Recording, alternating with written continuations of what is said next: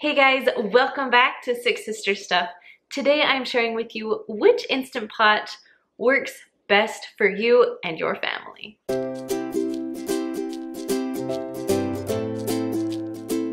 So I'm Kristen, I am sister number two from sixsisterstuff.com and this video is a little bit different but this is one of my most common questions that I get from you guys is which Instant Pot do I need? Which will work best for my family? Which will work just for me. And so this is a little video to hopefully help you out to know which Instant Pot will work best for you. So first I'm gonna start with sizes. There are three different sizes. There's a three quart, a six quart, and an eight quart. So let's talk about the three quart first. So here are the good things about the three quart. If you have a small family, like one to two people in the family, a three quart would be perfect for you if you plan on not making a lot of food in the Instant Pot. I would say the max amount of people that you can feed in the three quart is four. It's small. You can have small servings if you're gonna make dip or little things like if you just want one chicken breast or two chicken breasts. The three quart is perfect for that. Another good thing is that it is the smallest out of the Instant Pots. So if you don't have a lot of room in your kitchen, the three quart might be the best fit for you. Some of the bad things about the three quart is that you might have to calculate and cut recipes in half. Most recipes are made for the six quart Instant Pot. So if you're okay cutting your recipe in half, then you'll be fine with the three quart. All right, moving on to the six quart. Now I personally, I have two six quarts because that fits perfectly for me and my family. And I base my recipes on the six quart Instant Pot. So the good things about this six quart is that it can feed a few more people. So I would say anywhere from four to six people it can feed easily. And like I said before in the three quart, almost all the recipes that you can make in the Instant Pot are made for the six quart. So you don't have to do any adjustments if you buy the six quart. Now the six quart is the medium size. It still is able to fit in the majority majority of my cupboards, but it's not as small as the three quart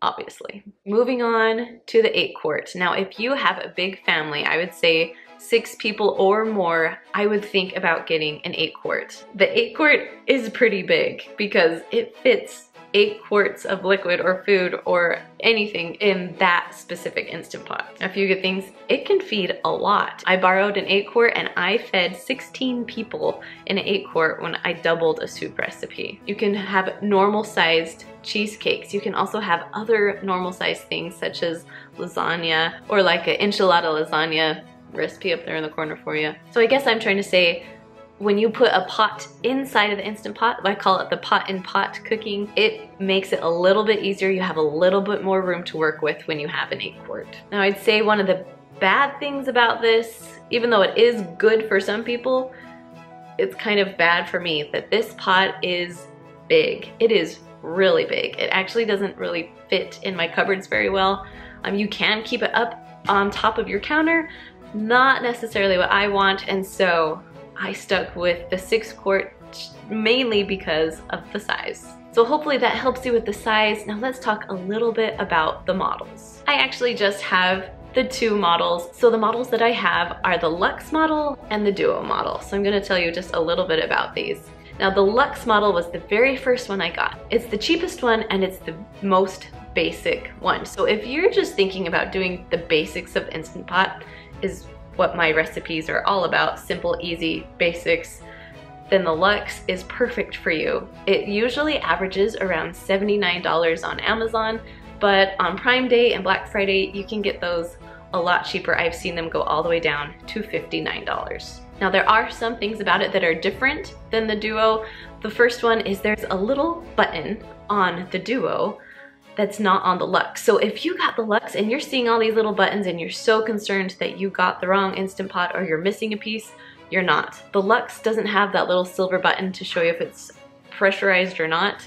That's just how it was made and nothing is missing if you're missing that piece if you have a Lux. Now on the Lux, it does have a manual button which is the same as the pressure cook button on the other Instant Pots. Now with the Lux, it's a six in one, so there's a lot of different buttons that you can push.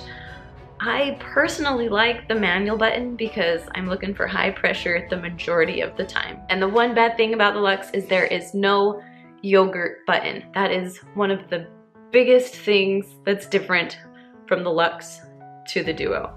So if you really want to make your own yogurt, go for the Duo. If you really don't want to, stick with the Lux. Simple, basic, and it pretty much can cook anything. All right, my second Instant Pot is the Duo. There are a few different kinds of Duos. I have the seven in one Duo, so that means it has the seven different buttons you can push. I do have the yogurt button on the Duo.